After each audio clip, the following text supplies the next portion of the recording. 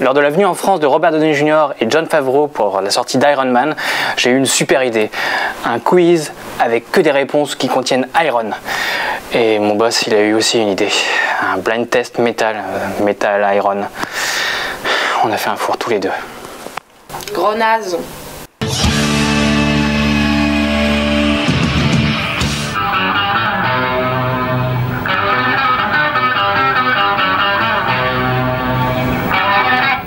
I slept with a flamenco dancer.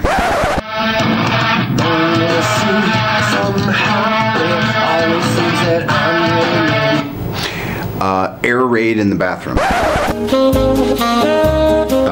uh, uh, Iron Giant.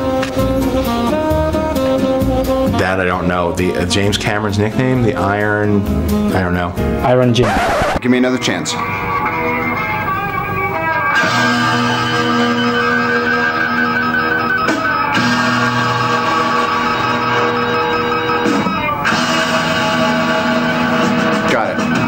I just slept with Rhodey's sister.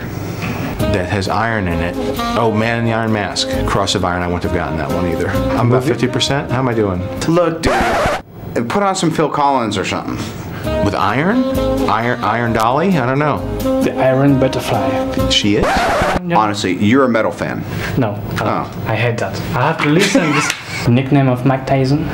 Iron Mike. Yay! Done. You kidding me? Come on. Please. Why? Is it something other than Iron Man? I, come on. It is? It's Iron Man. Oh, you got one point. I did get one, right? Yes. That's like the thing where like the retarded supermodel comes out and then you like tell you you ask her how to spell her name and you give her a point for that. For the worst interview I've, I've never done, I've ever done. Sorry. I'm gonna crash. My editor is gonna fire me for that. No, this is good. You, you, you think I think it's good. this connection? Listen, if you erase the tape, you could say it's the worst interview you've never done.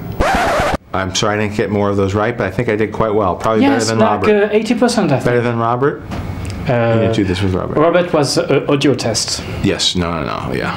Glad, glad, glad you didn't do that one on me. Good, fantastic.